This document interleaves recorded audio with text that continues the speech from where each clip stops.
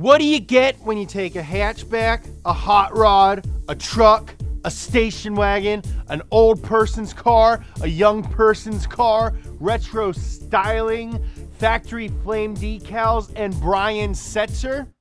A big old mess is what you get.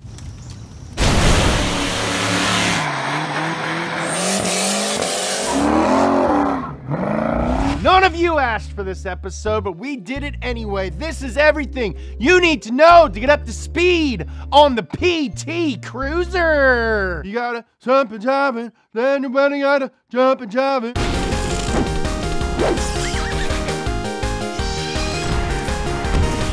A big old thanks to Omaze for partnering with us on this episode. Right now, Omaze is giving away a brand new BMW M8 competition coupe. That means free, all right? You don't pay taxes. You don't pay transport, nothing.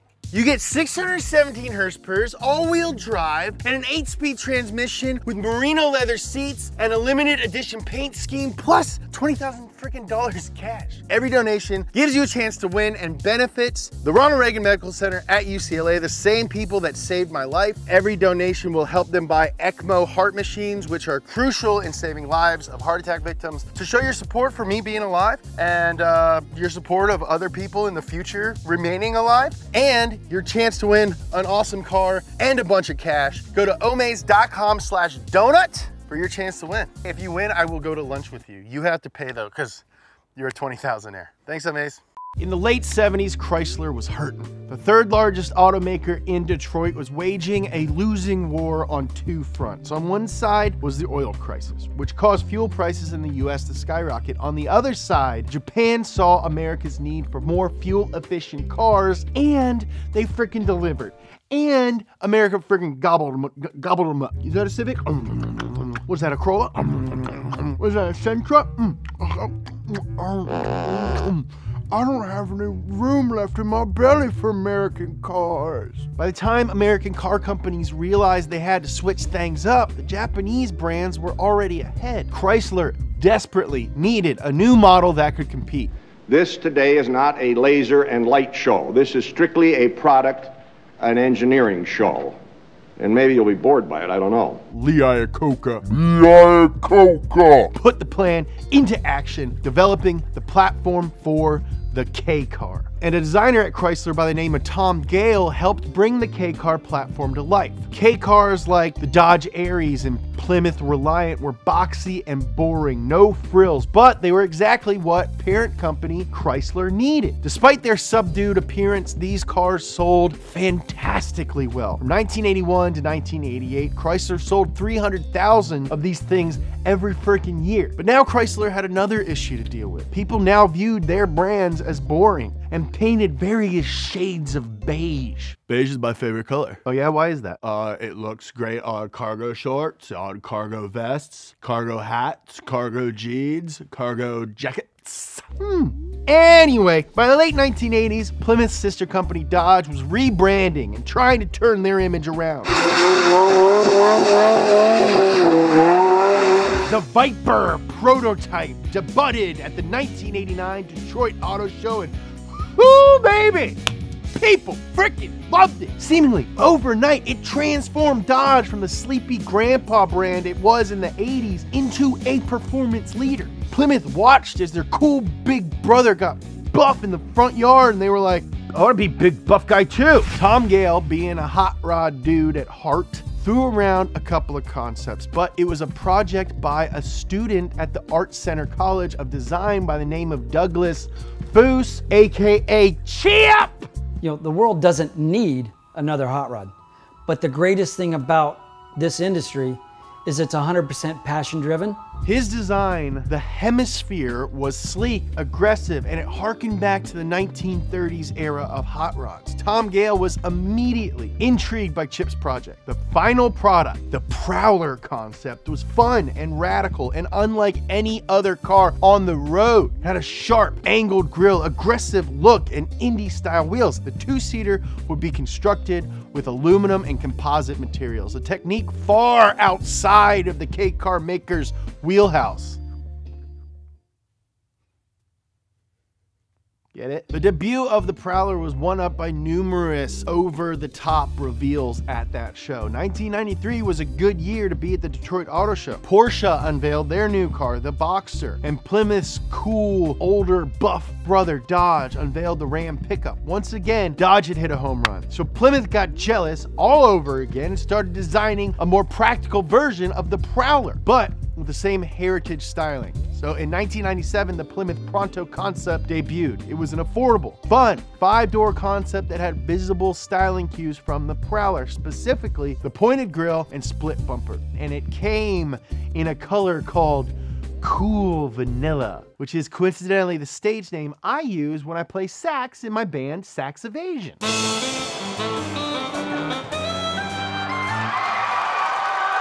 A year later, the Pronto Spider concept was released. This two-door roadster had a 2.4 liter turbocharged four-cylinder mid-mounted engine that made 225 horsepower, and it was small and only weighed 2,700 pounds. soon after, Chrysler debuted the all-wheel drive Pronto Cruizer with a Z. Are you kidding me? That's so cool. Meanwhile, the production Plymouth Prowler debuted in 1998 and was immediately met with criticism. Sure, people loved the radical styling, but Plymouth did a little oopsie in the pants and only offered it with a very boring V6. Could have had a V8. Despite the lukewarm reception, Chrysler didn't consider it to be a failure. It was never meant to be a volume car. The Prowler was an experiment in the production of aluminum cars. That's what us in the biz call big picture stuff. Chrysler debuted the PT Cruiser concept at the 1999 Detroit International Auto Show. PT stood for Personal Transit. By the turn of the new millennium, you know when we all died? Chrysler had created a lot of positive buzz around the car, and people couldn't wait to find out what this heritage hot rod wagon thing was all about. It was a tall and stout utilitarian hot rod with a bunch of space. It looked vaguely familiar, but also no one had seen anything like it ever before.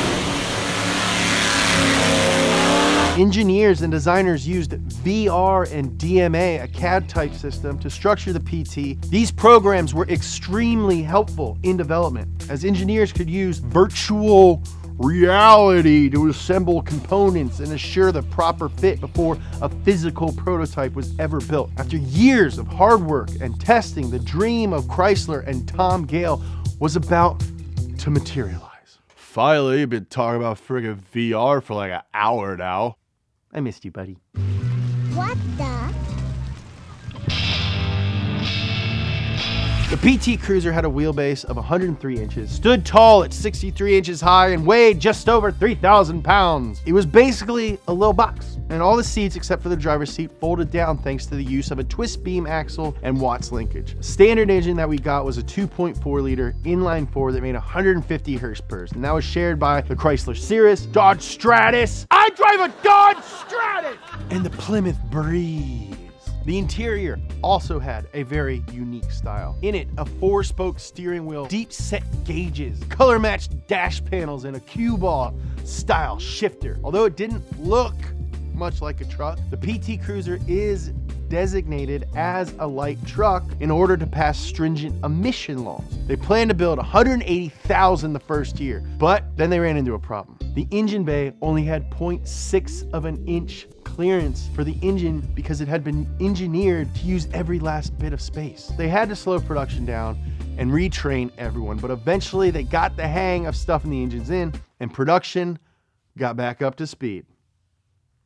Hey guys, what's up? James here from the video that you're watching now. I just want to interrupt myself to let you know about a really exciting new project that we got going on here at Donut. It's called Money Pit. We have a new project car, a beautiful NA Miata, and every week we're gonna show you how to work on a different aspect of the car. You wanna learn what parts of your car do?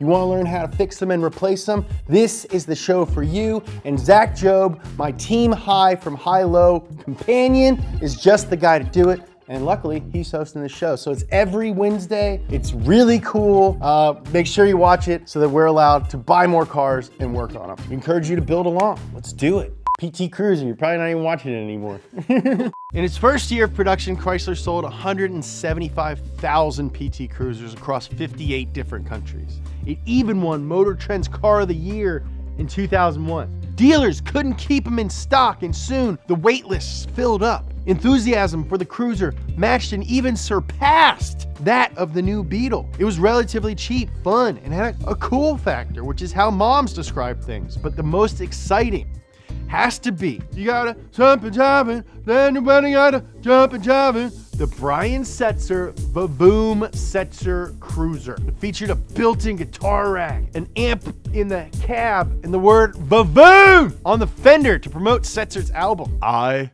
would love to get my hands on one of those sweet, sweet bad boys. In 2001, they debuted the PT Woody and Dream Cruisers. The Woody was a limited run of a thousand cars in a 1960s surf wagon style. And apparently, it was a collaboration with the East Coast based Ron Jon Surf Shops. Cool. The Dream Cruiser was named after an annual event in Detroit. Every year, up to one and a half million people and 30,000 cars cruise Woodward Street, one of the best cruise strips in the US. They came in Inca gold with gold colored matrix leather seats. In Europe, they were called street cruisers. They only made 7,500 of these and had numbered plaques in the middle console. The PT Cruiser was meant to appeal to a younger audience. It was cheap, customizable, and most importantly, unique. But when Chrysler took a look at who was actually buying it, they were quite surprised. About the cat in the PT Cruiser. Turns out when you build a car that's meant to look like it was a car from the 30s, the only people that buy that car are the ones who lived through the 30s. Now, it doesn't matter if the customers were old or not, PT Cruisers were still selling. 2002 was the first year you could get your PT Cruiser with flame decals from the factory. Christ was like, young people like flames, right? Young people like power, right? So they added a little bit more of it. The PT Cruiser GT Turbo High Output had an updated version of the turbocharged 2.4 liter four cylinder and now made 220 horse per. It could do 0 to 60 in 7.5 seconds, which is not great. And for 28 grand, which is about $41,000 today, it wasn't worth it. Again, Chrysler was sending mixed signals. On one hand, they wanted to give the kids the Mo Power baby, but on the other hand, what kid can afford a $41,000 retro car? 2004 marked the first year PT convertibles went on sale, and fans have been holding their breath since the concept debuted four years earlier. It took so long because instead of retrofitting an already existing PT, the convertible had to be completely redesigned. Nothing from the A pillar back on the convertible was interchangeable with regular PT Cruisers. It was also very quiet, another thing that old people love. It was said that you could have a picnic table conversation with your passenger while the top was down. Oh, just talk about as loud as you would talk at a picnic table. Does that mean? The regular PT was updated as well with the new front. From the outside, it would seem like a small change, but to PT loyalists, this was a freaking slap in the face, all right? So much so that they call any cruiser from 2004 on the second gen, even though technically there's only one generation over the lifespan of the PT. PT car people are the most intimidating type of car people. Because why the do they like it? The general public also began to turn on the Heritage Cruiser. Maybe it was the lame corporate custom mods. Maybe it was that Michael Scott drove one on The Office. It's Britney, bitch. Despite all the shortcomings, Chrysler sold a buttload of them. By the time production ended in 2010, over 1 million PT Cruisers were sold. If there's one thing that can be said about the PT Cruiser, it's that it didn't look like anything else on the road. It may have been a little bit out of touch, but their experiment with aluminum construction was a success. Thank you so much for watching. We got a lot of new stuff in the works. We're gonna have shows every single day.